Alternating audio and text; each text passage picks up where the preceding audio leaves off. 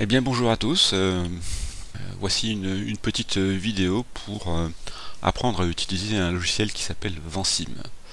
Alors Vancim est un logiciel qui va permettre de construire des modèles à compartiments, on va appeler ça des modèles de systèmes dynamiques. Donc on va pouvoir avec Vancim construire des modèles typiquement de cycles biogéochimiques puisque ce sont des, systèmes à compartiments avec euh, des, euh, des éléments euh, comme le carbone qui vont transiter d'un compartiment vers un autre et l'objectif ça va être de voir comment de faire des simulations plus ou moins contraintes pour essayer de comprendre comment ce cycle du carbone marche. Alors le logiciel Vancim. Donc si vous avez correctement téléchargé et installé Vancim PLE qui est la version allégée et euh, gratuite de Vancim, eh bien vous devez avoir à l'écran euh, euh, cette fenêtre là. Alors on va passer en revue en fait l'ensemble de la fenêtre. Ça va être relativement rapide parce qu'il n'y a pas énormément de choses non plus. la première chose c'est que vous avez une grande fenêtre blanche donc devant vous qui est le lieu en fait où vous allez dessiner, élaborer, construire votre, votre modèle. On va tout de suite euh, aller sur euh, la, barre de menu ici, euh, qui est relativement sommaire, et on va très très rapidement voir ce que contiennent ces, menus. Un menu file, donc on commence par la gauche ici. Ce menu file est un menu classique qui va permettre d'ouvrir une nouvelle page blanche, donc new model, d'ouvrir un modèle déjà existant, et puis ensuite d'enregistrer les modèles comme on le souhaite un menu edit bah, qui est le menu classique euh, notamment qui va contenir euh, des fonctions de couper copier coller. Euh, un menu view qui lui est plutôt dédié à la visualisation de la fenêtre avec une fonction zoom par exemple. On s'en servira relativement peu. Je passe sur le modèle sur le menu layout on s'en servira pas. Et puis un menu modèle. Alors le menu modèle est peut-être le menu le plus spécifique à ce, logiciel. Euh, le menu modèle dans lequel on ira utiliser relativement peu de choses euh, parce qu'on utilisera plutôt des boutons de raccourci. La seule chose qu'on utilisera dans ce menu modèle a priori euh, c'est la première fonctionnalité qui est Settings qui va nous permettre de paramétrer un certain nombre de choses dans le modèle. Un menu Options qui est vraiment pour la configuration et la personnalisation du logiciel, un menu Windows qui permet euh, éventuellement le cas échéant de naviguer d'une fenêtre à l'autre, et un menu Help. Donc voilà, c'est relativement, relativement simple. Euh, ce qui va beaucoup plus nous intéresser, ce sont en fait les, barres de boutons. Euh, il y a deux barres de boutons horizontales et une barre de boutons verticale. la première barre de boutons horizontale, en tout cas dans sa partie gauche ici, euh, est là aussi extrêmement classique et euh, fait référence à des fonctionnalités qui sont présentes dans les menus File ou Edit, c'est-à-dire ouvrir un modèle, euh, ouvrir un nouveau modèle, le sauvegarder, et puis les fonctions de couper, copier, coller.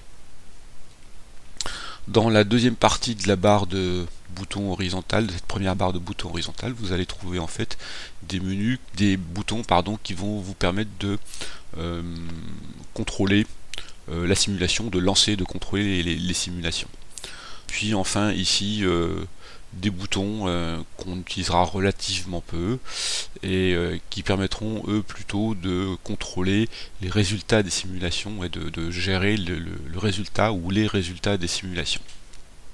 Une deuxième barre de boutons verte horizontale pardon ici qui est elle une barre de boutons qu'on utilisera très fréquemment à laquelle on aura très fréquemment recours euh, et qui va permettre euh, notamment d'élaborer euh, de construire les modèles alors le premier bouton est un, bouton qui s'appelle Lock Sketch donc en fait ça permet de verrouiller la table à dessin c'est à dire à un moment donné si on souhaite ne, plus déplacer ou supprimer malencontreusement euh, les éléments de la table à dessin, on va la verrouiller, mais on l'utilisera en fait pas. Un outil qui va permettre de euh, déplacer, de redimensionner les éléments. Euh, et puis quatre boutons ici qui sont extrêmement importants et qui vont en fait dédiés à la construction des modèles, c'est-à-dire au dessin des modèles sur la table à dessin. Un outil variable pour créer une nouvelle variable, un outil level pour créer une variable spécifique qui est une variable de type compartiment, réservoir si vous préférez, un outil arrow qui permet en fait de mettre des liens de cause à effet entre les variables, et un outil rate qui euh, est en fait euh, un outil qui va permettre de, euh, de mettre en place des flux entre compartiments ou depuis rien vers un compartiment ou depuis un compartiment vers rien un bouton euh, delete, c'est-à-dire que ça va nous permettre de supprimer des éléments euh, du modèle que l'on aura construit, et un bouton euh, équation qui lui va permettre de documenter bah, chacune des variables, chacun des éléments du modèle. La barre de bouton verticale ici, sur laquelle je serai très bref, on n'utilisera pas a priori, même si vous pouvez les explorer sans souci, on n'utilisera pas le, la première partie de la barre de bouton, on utilisera en fait uniquement cette deuxième partie de barre de bouton, et je dirais même que dans cette deuxième partie de barre de bouton, ce qu'on utilisera essentiellement, c'est le bouton graph et le bouton table time. Euh, en fait, ces boutons-là, ces outils-là, vont permettre de visualiser les résultats des simulations une fois qu'on aura lancé des simulations. Voilà, tout simplement. L'outil graph permet de visualiser les résultats sous forme de graphique et l'outil euh, table time permet de visualiser les résultats sous forme d'un tableau tout simplement. Euh, dernière chose, euh, avant qu'on commence à, travailler avec un exemple, une barre de boutons, enfin pas une barre de boutons, une barre d'état en bas avec quelques, quelques petits boutons qui vont permettre en fait notamment de configurer euh, les éléments, euh, enfin de mettre en forme on va dire plutôt, les éléments qu'on aura élaborés. A priori on l'utilisera pas ou peu, c'est vraiment quand on commence à faire de la mise en forme finale, mais là aussi je vous, euh, je vous incite à explorer et à utiliser comme vous semble cette, barre de boutons, mais elle n'est pas absolument primordiale. Voilà, je pense qu'on a à peu près tout vu. il est temps maintenant peut-être de, voir comment on utilise ces, euh, fonctionnalités et euh, notamment comment on va euh, construire un modèle. Alors on va construire un, modèle tout simple au départ. la première chose c'est que et souvent le, la fonctionnalité qu'on utilise en premier c'est l'outil level donc en fait ça permet de mettre de construire un, un élément de type compartiment, un réservoir si vous préférez. Euh, donc je clique sur euh, Level. Euh, je viens cliquer où je veux le placer dans la table à dessin. Je clique une fois. je vais donner un nom à ce, à ce compartiment. Et en fait, je vais faire une petite simulation de l'état de mon compte en banque. Voilà. Mon compte en banque, c'est une réserve d'argent. Euh, vous voyez qu'il prend là tout de suite la forme automatiquement d'une boîte. Euh, et euh, il y a une petite poignée juste en bas à droite ici. Et je vais pouvoir en fait redimensionner cette boîte.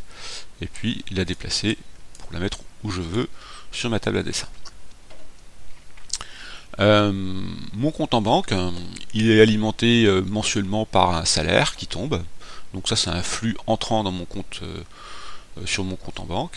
Alors pour faire rentrer euh, un flux dans une boîte, euh, on va utiliser un deuxième outil extrêmement important qui s'appelle Rate ici. Je clique sur le bouton Rate, et là en fait je vais euh, ben, l'argent vient de quelque part, on ne sait pas exactement d'où il vient, c'est pas très important ici. Donc je clique quelque part n'importe où sur la table à dessin. Voilà, donc il me dessine un petit nuage parce que j'ai pas cliqué sur une boîte par exemple. Donc je relâche bien le bouton et je vais venir cliquer sur ma boîte. Et donc là c'est pour dire en fait j'ai un flux qui rentre dans ma boîte. Voilà. Je donne un nom à ce flux. Je vais appeler ça salaire. Je fais entrer et voilà j'ai euh, un flux qui arrive dans ma boîte. Euh, j'ai également des flux sortants de mon compte bancaire. Euh, donc je vais utiliser toujours pareil l'outil rate ici. Je vais avoir un premier flux. Donc je clique pour un, flux sortant, je clique sur ma boîte, je relâche bien le bouton de la souris et je clique une deuxième fois en dehors de la boîte. et par exemple, ben, je dois verser de l'argent aux impôts tous les mois. J'ai d'autres flux sortants évidemment, alors on va essayer de faire simple. J'ai un autre flux sortant qui sont euh, mes dépenses. Euh, mes dépenses obligatoires. Donc ça c'est euh, pour me nourrir, payer mes factures, loyer, électricité, gaz, etc. Tout ça c'est incontournable. et puis je vais mettre un dernier flux sortant qui est un flux euh, d'argent vers, on va dire, ce qu'on appelle des loisirs. Hein, donc pareil, je clique sur ma boîte, je clique à l'extérieur de ma boîte, et je vais appeler ça loisirs. Donc c'est pour mes loisirs. Alors euh, tout de suite, on, va utiliser la petite main ici pour essayer de... Euh, vous voyez que là, mes, mon, automatiquement, Vancy me dessine des choses pas forcément très claires mes deux flux se superposent plus ou moins là, je peux en fait, vous voyez, déplacer tout ça. Voilà, par exemple, je peux faire ça. Voilà. Euh, donc mon modèle est construit, pas complètement, euh, notamment parce qu'il va falloir que j'indique avant SIM euh, comment mes variables flux, notamment, vont euh, fonctionner. Qu'est-ce que j'entends par là? En fait, ma variable compte bancaire, c'est-à-dire mon compartiment, lui, il va fonctionner de façon très simple, et vous savez déjà, en fait, euh, à chaque pas de temps, on va faire euh, la somme des flux entrants moins la somme des flux sortants, et ça va me donner l'état de mon compte bancaire à chaque pas de temps. C'est extrêmement, extrêmement simple. Donc là, euh, la chose est toute trouvée. Euh, par contre, il va falloir que mes flux, eux, je les dimensionne, que je leur donne des valeurs, ou en tout cas que je leur dise comment, euh, par quoi ils sont contraints. alors je peux commencer le, flux salaire. Je peux estimer que j'ai un salaire normal qui tombe à peu près, c'est à peu près la même somme tous les mois. mes impôts, en fait, ça va être euh, une certaine proportion de mon salaire, j'ai un taux d'imposition par exemple de 10%, ben, j'ai 10% qui chaque mois euh, sont pris sur mon salaire pour aller euh, vers les impôts. j'ai des dépenses obligatoires, on peut estimer que ces dépenses obligatoires sont constantes parce que ben, tous les mois j'ai mon loyer à payer, j'ai ma facture de gaz à payer, etc. Donc ça c'est à peu près toujours la même dépense chaque mois.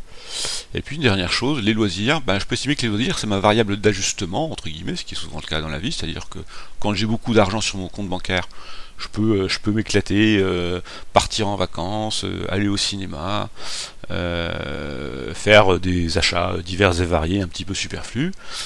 et puis quand j'ai moins d'argent sur mon compte en banque, eh ben, je me sers un petit peu plus à la ceinture, je sors moins, etc. Donc en fait, on va estimer typiquement que mon flux loisir, lui, il dépend en fait de la taille de mon réservoir euh, compte bancaire. Alors, pour documenter tout ça, on va euh, utiliser un, outil euh, qui est en fait l'outil équation ici. Ça c'est la première chose.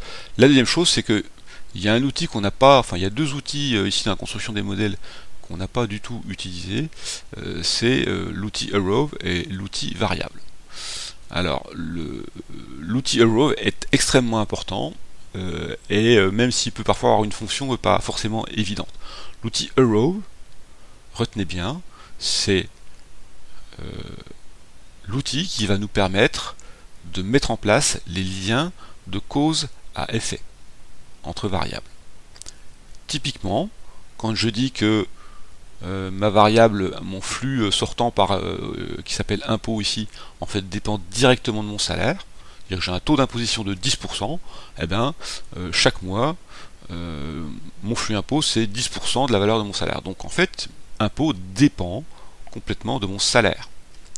Et pour ça, en fait, qu'est-ce que je vais faire? Eh bien, Je vais relier par une flèche, donc par un lien de cause à effet, salaire à impôt, qui veut dire très clairement salaire, influence, impôt. Euh, il y a un deuxième lien de cause à effet qu'on a évoqué, qui est en fait le flux euh, loisir. Mon flux loisir dépend très clairement de l'état de mon compte bancaire. Donc en fait, je vais dire à Vancim ou dans mon modèle, je vais explicitement dire que mon compte bancaire influence la valeur de loisir. Pour le reste, j'ai un salaire constant et j'ai des dépenses obligatoires constantes. On va donc documenter tout ça avec euh, l'outil équation. Donc en fait, on va cliquer sur équation et dès que je clique sur le bouton équation, il va me mettre en surbrillance euh, toutes les variables que je dois documenter. En l'occurrence, je n'ai documenté aucune variable, euh, donc il faut que je documente chacune de mes variables. Donc je vais venir cliquer sur ma variable à documenter avec l'outil équation. Alors, par exemple, ici je vais commencer par mon compartiment euh, compte bancaire, et à chaque fois vous aurez une boîte de, dialogue assez similaire qui va s'ouvrir, quelle que soit la variable que vous chercherez à documenter, et on, va essayer d'examiner un petit peu euh, ces différentes choses. Vous avez euh, tout en haut à gauche de, cette boîte de dialogue, ce qui concerne le, typiquement le nom de la boîte, vous pouvez éventuellement changer le nom de la boîte ici, changer le nom de la boîte de dialogue. Euh, vous avez le type de la variable dont il s'agit, donc c'est une variable de type level, donc c'est une variable à compartiment. Je vous conseille de ne pas le changer ici. Euh, vous avez l'unité euh, l'unité de la valeur. en l'occurrence, par exemple, ici, on va dire que ce sont des euros, c'est un compte bancaire en euros. Euh, groupe, on peut euh, laisser tomber ici puisqu'on n'a pas nous de regroupement de variables. Et puis surtout, ce qui est important aussi, c'est la partie centrale de la fenêtre où en fait on va écrire l'équation euh, qui, qui contrôle l'évolution au cours du temps de ma variable. en l'occurrence, ici je suis sur une variable boîte boîte ou compartiment, réservoir, et donc l'équation qui va contrôler euh, l'évolution de ma variable au cours du temps, en fait, c'est la somme des entrées moins la somme des sorties. Et en l'occurrence, si mon, modèle est correctement construit, et c'est le cas ici, vous voyez en fait que Vancy m'a écrit automatiquement la bonne équation. On va simplement vérifier que, euh, et il faut toujours le vérifier, hein, tout le temps, euh, on va simplement vérifier que l'équation est correcte. Là en l'occurrence, la somme des flux entrants, j'ai que salaire, donc qui apparaît en positif, moins les dépenses obligatoires, moins les impôts et moins les loisirs. Et en fait, il vous dit qu'il va intégrer tout ça au cours du temps. Hein, c'est le, terme de, ma, de ce qu'il a écrit ici. Euh, c'est ce qui signifie intègre de. Faites attention à une chose. Hein, parfois, vous avez le, euh, vous avez un petit peu l'habitude au départ de mettre un égal. Hein ne mettez pas de égal. Euh, en fait, le égal, il est, déjà ici, d'accord?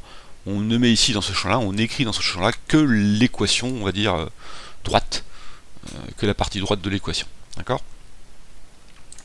S'agissant d'une variable de type compartiment, on va pouvoir également donner une valeur initiale à ce, compartiment, c'est-à-dire il a une taille au, au temps t0. Là, en l'occurrence, euh, bah, par exemple, autant T0, je peux estimer que j'ai, euh, par exemple, j'ai 2500 euros sur mon compte. La partie inférieure de la fenêtre, elle va vous donner accès euh, à des outils qui vont vous permettre de construire des équations dans la partie centrale de la fenêtre. Donc ici, vous allez trouver en fait toute une liste de fonctions mathématiques on l'utilisera relativement peu, on va, se borner à des, équations mathématiques souvent relativement simples. Vous pouvez utiliser le, mini clavier virtuel ici, mais vous pouvez aussi euh, tout à fait utiliser le clavier d'autre ordinateur, ça va très très bien marcher. Et puis surtout ici, vous voyez que on va pouvoir intégrer euh, dans l'équation des variables, euh, et qui sont en fait en l'occurrence les variables de, du modèle que j'ai construit. En l'occurrence, on a la liste ici de toutes les variables qui touchent ma variable compartiment. je peux mettre un commentaire ici si je le souhaite.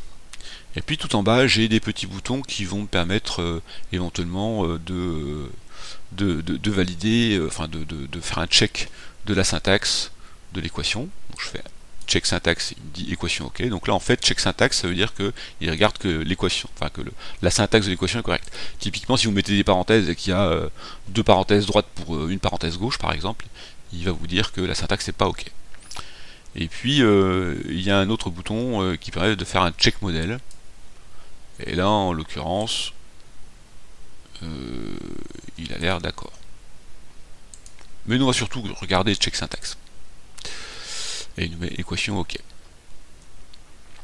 Euh, bah voilà, on a fait le tour de, cette, de cette boîte de dialogue, on l'a documenté correctement, c'est-à-dire on a vérifié que l'équation était correcte ici, on a euh, une valeur initiale euh, qu'on met à 2500, et on a mis comme unité euro. Alors, un petit retour sur les unités, en fait vous pouvez écrire ici ce que vous voulez. On pourrait tout à fait écrire 2500 patates. C'est sans souci. Euh, simplement, si vous écrivez 2500 patates ici, il va falloir écrire euh, au niveau de, votre, flux entrant salaire, il va falloir écrire que vous gagnez 3000 euh, patates par mois. Voilà, c'est pas plus compliqué que ça. donc je fais OK, et je vais aller documenter les autres variables. On parle du salaire tout de suite, on va documenter la variable salaire. Donc là c'est une variable de type euh, flux, donc en fait lui il dit que c'est une variable de type constante. Euh, son petit nom c'est salaire. Et vous voyez que ici j'ai juste une équation à mettre, il n'y a, pas de, a pas de valeur initiale. J'ai juste une équation à mettre. Mon équation ici ça peut être tout simplement que bah, j'ai un salaire, enfin en tout cas on a décidé qu'on avait un salaire constant. Euh, et que par exemple, bah, admettons je gagne allez, euh, j'ai un bon salaire, euh, je gagne 5000 euros par mois. Et je vais écrire ici euro slash mois pour dire que je gagne, enfin voilà, qui euh, l'unité. Alors à la limite, Vansim peut tout à fait fonctionner sans unité, en tout cas sans que vous lui spécifiez des unités. Simplement le fait de spécifier une unité ici va indiquer à Vansim que, ben, en l'occurrence, vous euh, gagnez euh, des euros par mois, il va juste regarder que euros par mois c'est compatible avec euh, euros au, niveau du compartiment vers lequel pointe votre flux. C'est-à-dire que si vous gagnez des euros par unité de temps, bah forcément vous accumulez des euros dans votre compartiment. Voilà. Et donc lui il va checker ça en fait. Voilà. Quand on construit un modèle extrêmement compliqué, ça permet en fait d'éviter un certain nombre de d'erreurs d'erreurs de construction du modèle. Voilà, je peux faire un check syntaxe si je veux, mais là en l'occurrence il n'y a pas forcément lieu, et je fais OK. Euh, deuxième flux constant euh, dans mon modèle, euh, le flux dépenses obligatoires. Je clique sur dépenses obligatoires. mes dépenses obligatoires, je vais estimer qu'elles sont de l'ordre de allez, 3000 euros. D'accord? Et je fais OK. Tiens, j'ai pas mis que c'était des euros par mois peut écrire ici euros par mois. Mais encore une fois, euh, ça fonctionne très très bien sans, sans mettre d'unité. Euh, c'est juste, euh, vous, ça vous oblige à être rigoureux, on va dire, et à penser à ce que vous faites. Et puis deux variables un petit peu plus compliquées, impôt.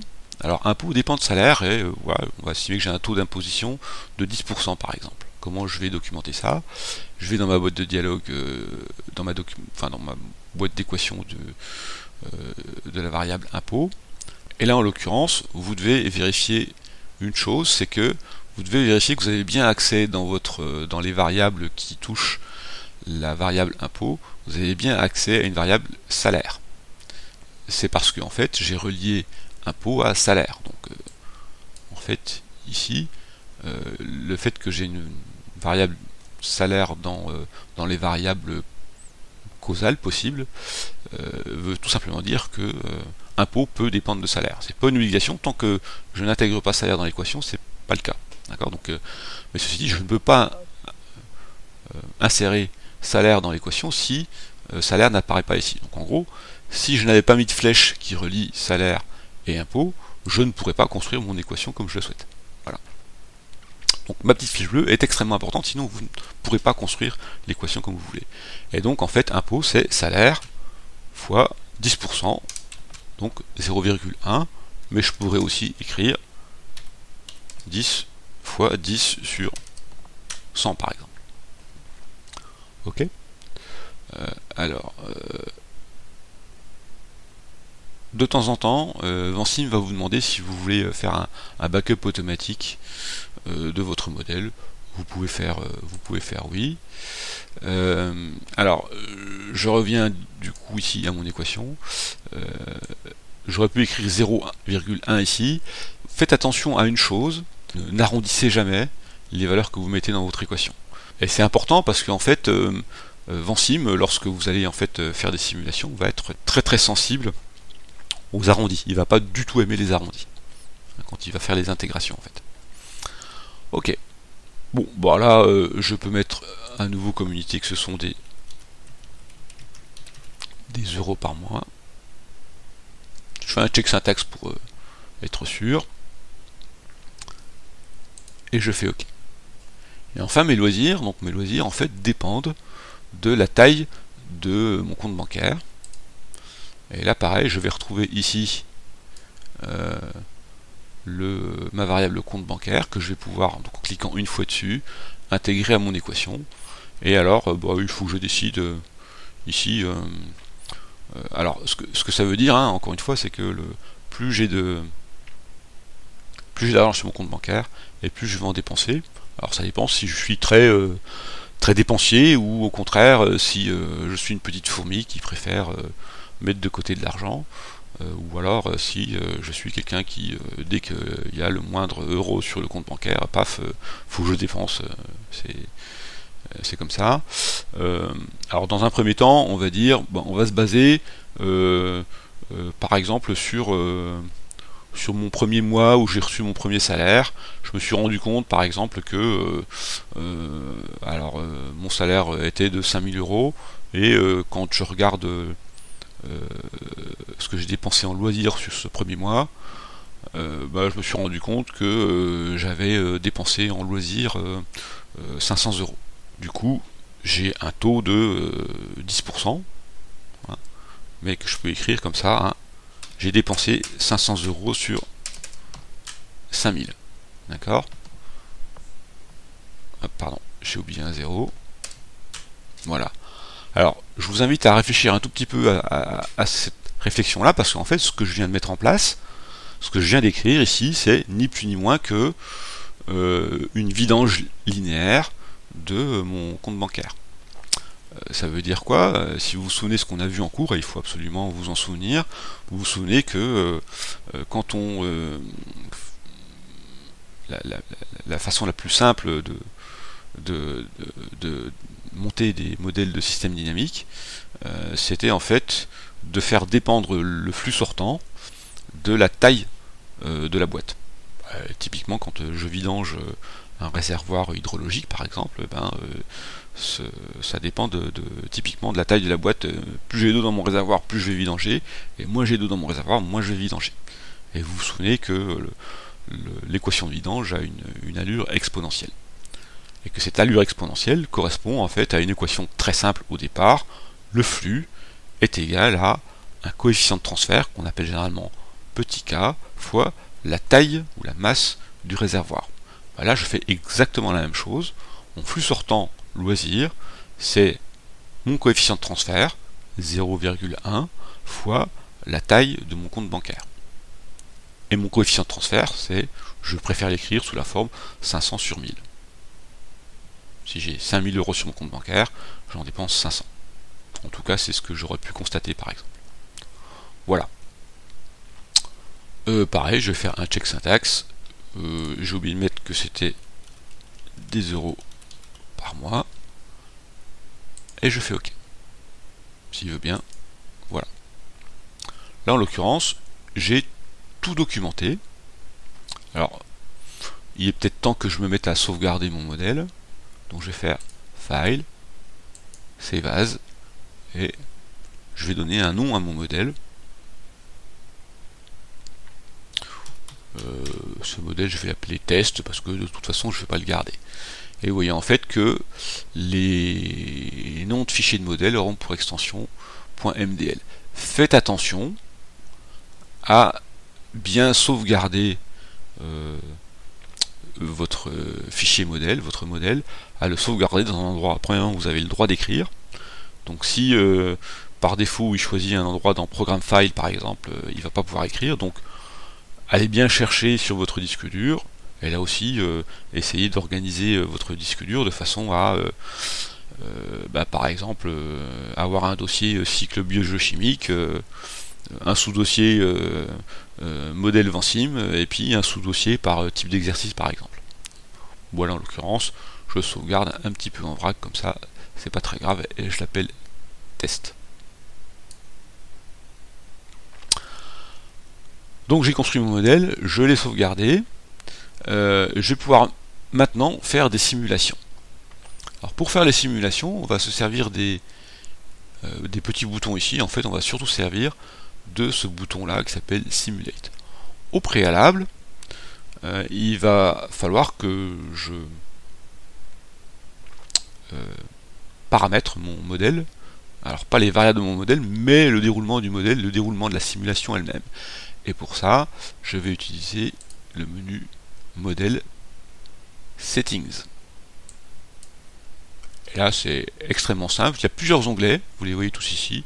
Nous, on va se borner à utiliser uniquement le premier onglet. Et dans ce premier onglet, en fait, on va euh, définir les contraintes temporelles de la simulation.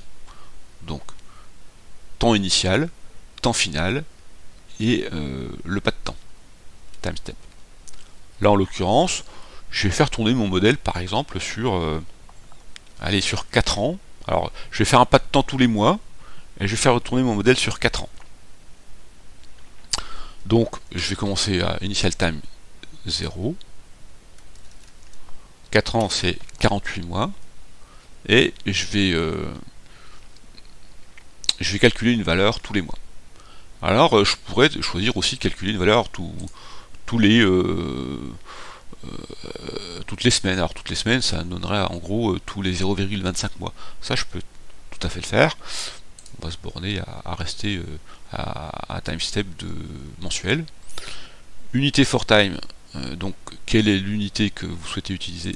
Donc là c'est des, des mois, mais on pourrait utiliser aussi euh, des, semaines, sauf que utiliser des semaines, ça veut dire que j'ai un salaire qui tombe toutes les semaines et non pas tous les mois, par exemple. Hein. donc il faut que je fasse attention à ça.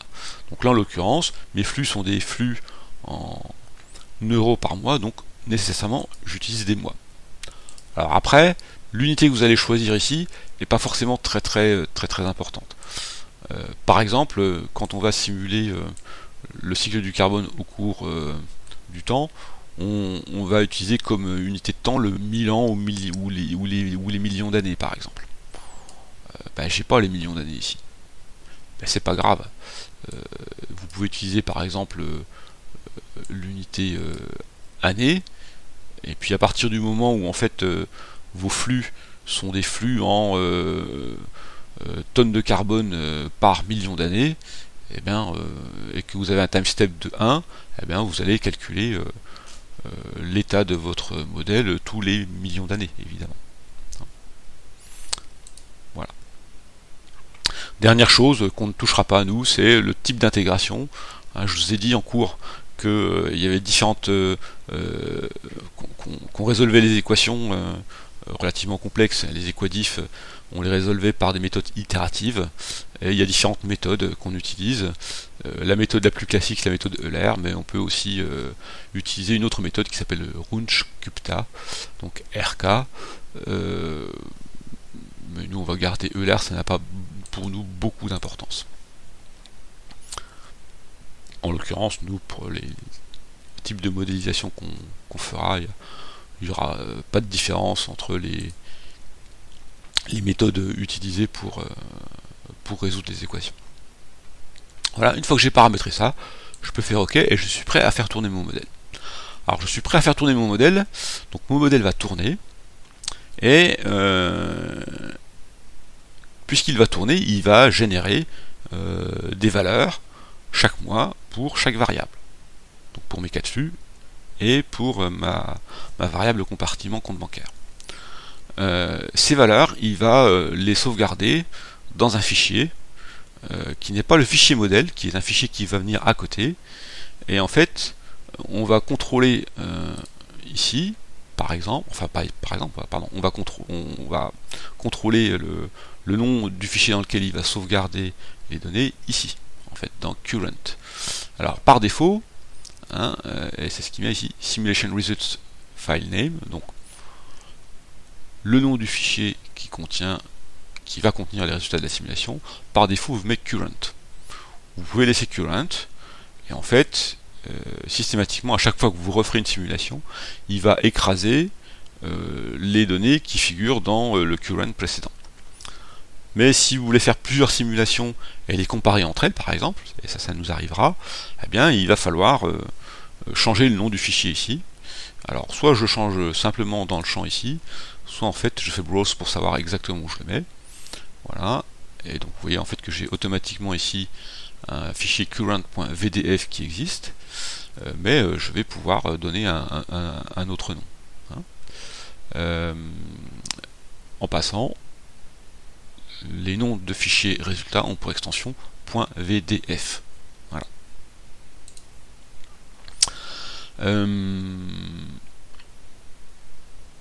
Donc pour l'instant, moi, je vais juste faire une simulation test. Donc je vais sauvegarder mes fichiers, enfin mes, données résultats, euh, mes résultats de simulation pardon, dans current, euh, donc dans le, fichier par défaut. Euh, et puis je vais pouvoir faire la simulation. Je suis prêt à faire la simulation, donc je clique sur Simulate. ah, question formation, dataset current already exist, voilà, donc il vous dit il y a déjà un current qui existe. Est-ce que je veux écraser son contenu? Je fais oui. Euh, et normalement, il a fait la simulation. Je peux la refaire une deuxième fois. Oui, c'est ça, il a fait la simulation. Euh, et puis, je vais pouvoir euh, regarder les résultats de cette simulation, soit sous forme graphique, soit sous forme de tableau. Alors, pour cela, au préalable, il faut que je sélectionne une variable, ou alors plusieurs variables en faisant un, un glisser-déplacer comme ça. Moi, ce qui m'intéresse, c'est l'état de mon compte bancaire euh, au cours du temps. Je sélectionne compte bancaire et je clique sur graphe. Et voilà. Euh, vous voyez en fait l'évolution, donc un graphique qui représente l'évolution de mon compte bancaire au cours de mes 48 mois. En l'occurrence, je pars bien de 2500 euros, et comme je ne suis pas très dépensier, ben, rapidement, en fait, je vais accumuler de l'argent sur mon compte bancaire, et puis euh, au bout d'une euh, au bout de 2-3 ans, euh, je vais arriver à, stabiliser mon compte bancaire aux alentours de, 15 000 euros. Voilà. Alors c'est évidemment selon la simulation que j'ai faite.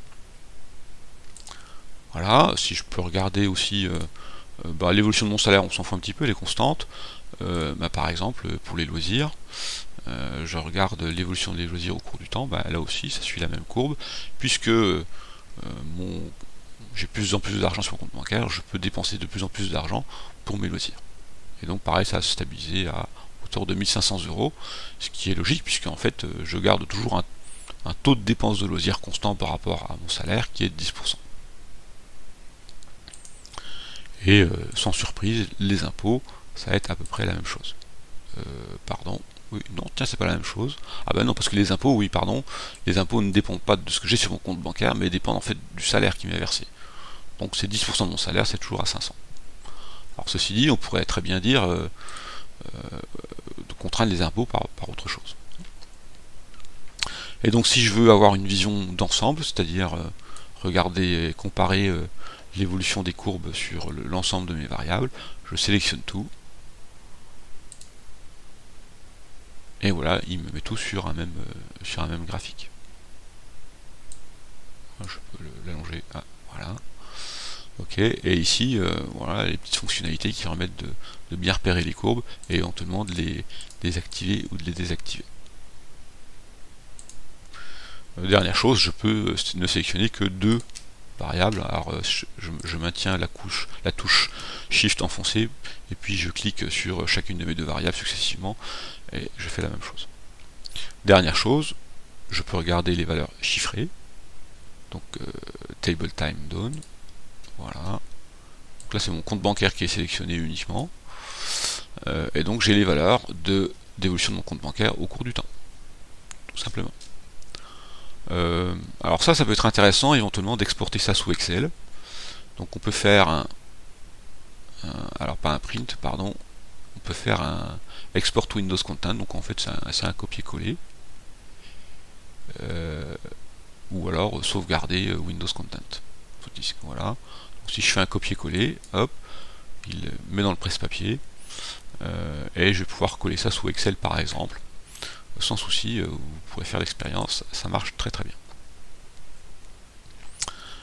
Euh, idem, hein, je peux euh, sélectionner l'ensemble des variables et regarder ça sous forme de tableau et j'aurai toutes mes variables sous forme de tableau.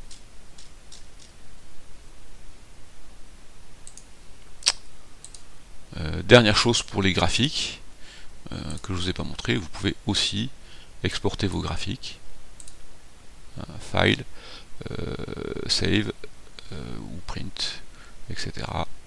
Alors pareil, view euh, pour changer des choses, etc.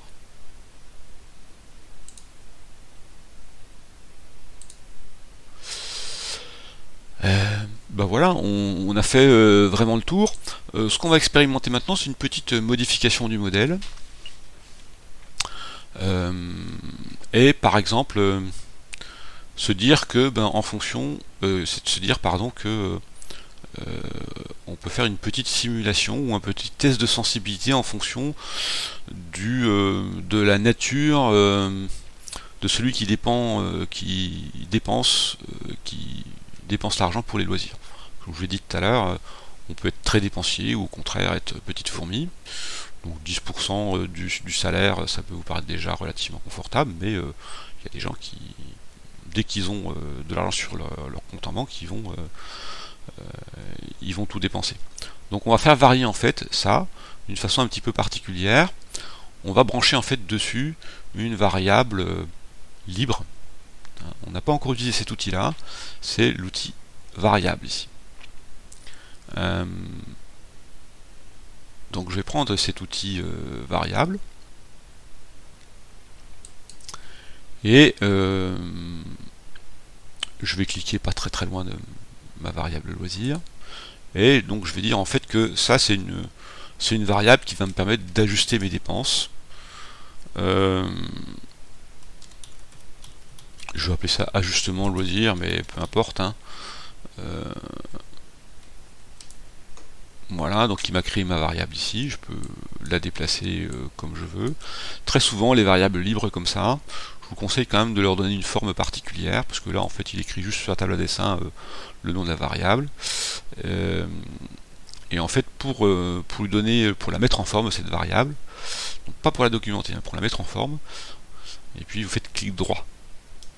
Clic droit, et là en fait vous avez la possibilité d'encadrer votre variable par un cercle, par une, une box ou par un, quelque chose de type diamant, triangle, hexagone, etc. Euh, typiquement, ce type de variable là, les variables libres comme ça, on les entoure par un cercle. Donc je fais OK. Et aussi qu'on peut contraindre le type de police, euh, la taille de la police, etc. Hein. voilà. Alors, c'est fait un cercle tout petit. Je prends la poignée ici. je peux ajuster la taille. Donc voilà ma variable libre. Simplement, cette fois-ci, il faut que je dise à, avant sim que cette variable ajustement loisir, elle va venir influencer mon flux loisir. D'accord? Donc j'utilise à nouveau la fonction arrow ici. Et je relis euh, ajustement loisir et loisir. ça, ça veut clairement dire que loisir dépend non seulement de compte bancaire, c'est ma première flèche bleue, mais dépend également de ajustement loisir. Je vais documenter tout ça. Alors, quand je clique sur le bouton équation, il va me dire que évidemment ma variable ajustement loisir doit être euh, documentée et qu'il va falloir que je vérifie ma variable loisir puisque j'ai modifié les variables dont elle dépendait. Donc je vais aller sur ajustement loisir. et là en fait je vais en fait avoir la possibilité, par exemple, c'est pas une obligation, mais par exemple je vais avoir la possibilité de dire que cette variable, elle peut varier entre alors 0,1 qui est mon taux euh, mon taux de dépense euh, euh, de base jusqu'à 1. 1 hein, veut dire quoi? 1 veut dire en fait que eh ben, 100% de ce qui reste sur mon compte bancaire, je le dépense en loisir. Et puis je peux mettre comme valeur initiale, allez, 0,1. On va voir comment on utilise tout ça derrière. Voilà. Euh, et puis là, en fait, je vais avoir changer un petit, peu l'équation de mon flux euh, loisir. Donc je clique dessus ici. Et en fait, mon compte, euh, mon compte bancaire, il ne va pas se vidanger selon une variable fixe, mais selon mon taux de dépense que j'ai appelé ajustement loisir. Hein, mon taux de dépense n'est pas fixe, mais ça dépend euh, d'une autre variable. Et cette autre variable, je l'ai configurée de façon à ce qu'elle varie entre 0,1 et 1. Je fais un check syntaxe, il est d'accord, et OK. Alors arrivé là, ce que je vais faire, c'est que plutôt que d'utiliser le bouton simulate ici, euh, je vais utiliser en fait euh, Synthesime qui est le bouton juste à côté ici. Synthesime, bah voilà, je vais cliquer dessus. Alors à nouveau il me demande si je veux remplacer par current. Je dis oui. Voilà. Et en fait, je vais pouvoir, vous voyez, dès que je fais Synthesime, premièrement, il va me mettre dans la boîte de dialogue, euh, pardon, dans la dans la boîte dessinée ici, il va me mettre l'évolution au cours du temps. Donc il a fait la simulation et il, en rend compte de, de, façon interactive, on va dire. En fait. Donc c'est une façon d'interagir directement avec votre modèle. Et à chaque fois que vous avez des variables constantes ici, c'est le cas ici, ici et ici, à chaque fois que vous avez ces variables-là, vous allez pouvoir les faire varier. Je peux faire varier mon salaire. Je peux faire varier mes dépenses obligatoires et, je vais faire varier en fait l'ajustement de mes loisirs et, j'ai les résultats en temps réel.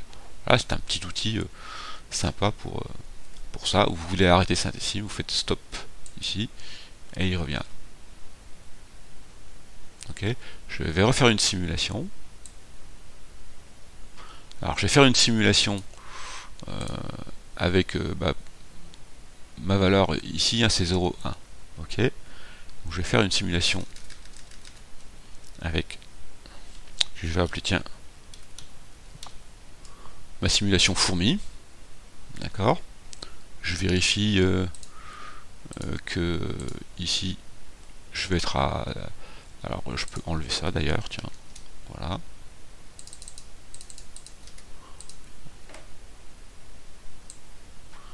Donc la valeur, euh, mon taux de dépense il est de 0,1, c'est-à-dire 10%. Euh, et je fais ma simulation, et donc il va me sauvegarder tout ça dans Fourmi. Voilà. Et puis je vais faire une deuxième simulation, que je vais appeler Sigal. Euh, ah, pardon, outil équation. Et là, je vais mettre en fait mon taux de dépense pour les loisirs à 1, c'est-à-dire 100% de ce qu'il y a sur mon compte bancaire, je le dépense en loisir.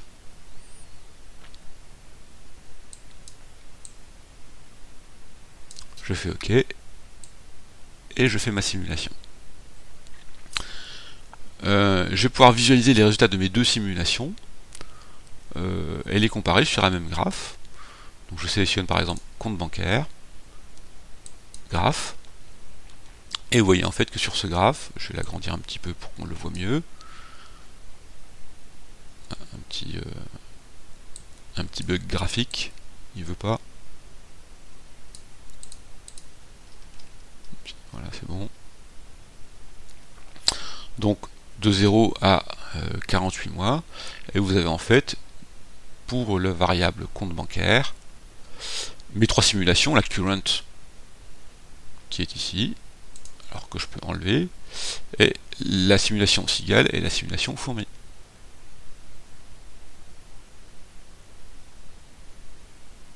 D'accord Évidemment, on, aurait, on pouvait s'y attendre. En fait, euh, ma simulation euh, fourmi me permet d'accumuler de l'argent sur mon compte bancaire, alors que la simulation cigale, elle, bah, par rapport au point de départ,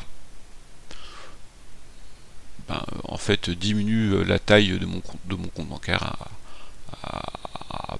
on doit être aux alentours de 1500 euros ici. Euh, on pourrait le vérifier sur le euh, sur le tableau. Mais ça ne me met pas dans le rouge. C'est-à-dire que j'ai largement assez. mon salaire est suffisamment conséquent par rapport à mes dépenses obligatoires et aux impôts pour euh, pouvoir supporter un, taux de dépense de 100% pour les loisirs.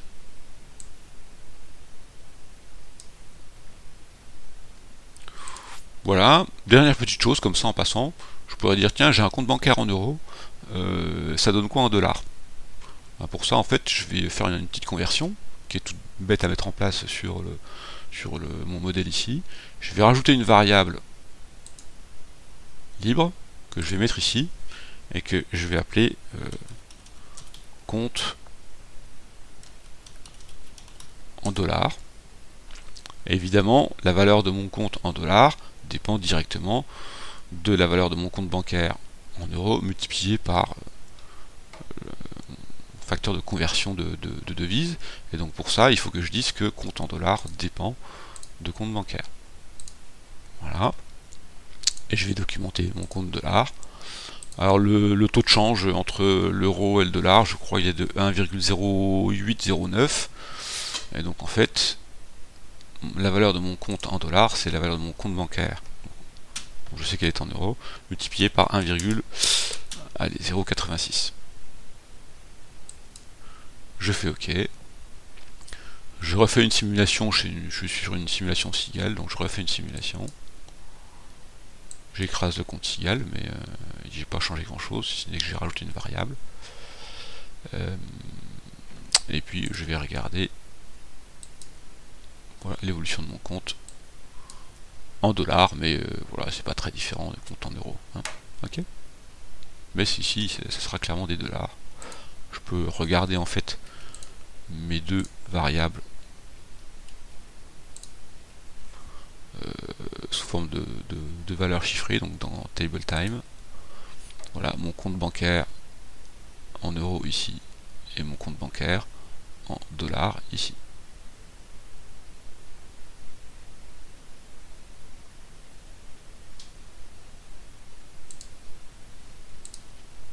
Voilà, ben, je pense qu'on a vu à peu près l'essentiel. Euh, il vous reste plus qu'à travailler et surtout à euh, construire des modèles euh, de cycle du carbone. Alors faites attention à une chose, je peux rapidement vous donner l'exemple ici. Hein. Euh, quand on construit un modèle de cycle, mes flux vont toujours d'une boîte vers une autre boîte. On est d'accord? Par exemple ici, je vais construire boîtes que je vais appeler boîte 1 ici, boîte 2 ici, et mes flux vont d'une boîte. Donc ça c'est F1 par exemple. Et inversement F2. Il faut que je positionne euh, les choses. Euh, bon, c'est un petit peu capricieux je trouve par rapport à ça, mais vous, allez prendre l'habitude. Voilà par exemple.